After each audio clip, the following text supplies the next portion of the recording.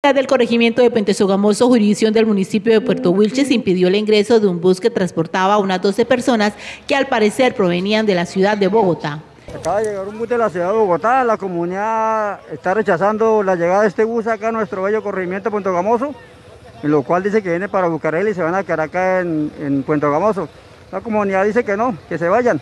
vienen de Bogotá. Hasta el momento, pues gracias a Dios estamos eh, libres de, de de toda pandemia, de, toda,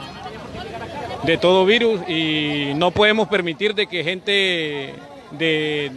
de las lejanías vengan acá a perjudicarnos. Ustedes saben que la mayoría de casos viene de Bogotá y esto no lo podemos permitir, ni en los hoteles, ni, ni aquí, que se lo lleven para Bucarelia, para sus viviendas, cada tienen buenas viviendas. Se pudo conocer que las 12 personas que se movilizaban en este bus era personal que se disponía a laborar en la empresa Bucarelia y se hospedaría en un hotel del corregimiento. Aunque al parecer cumplían con los protocolos de bioseguridad, la comunidad manifestó que no quieren correr riesgo, ya que hasta el momento el corregimiento se encuentra entre las zonas con cero casos de COVID-19 y además denunciaron que se estaría desplazando la mano de obra local.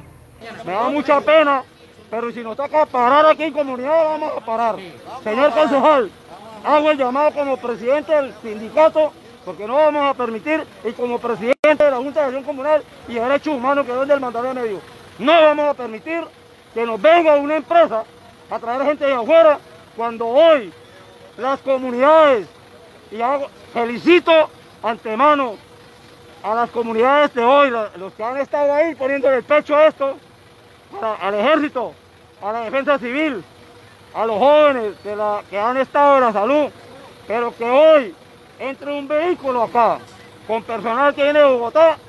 no lo vamos a permitir. La comunidad del sector exigió a las autoridades ejercer mayor control en esta clase de casos porque son muchas las personas que estarían llegando sin ninguna autorización. Igualmente se pudo conocer que el bus fue devuelto con el personal e impidió que éste ingresara a Puerto Wilches.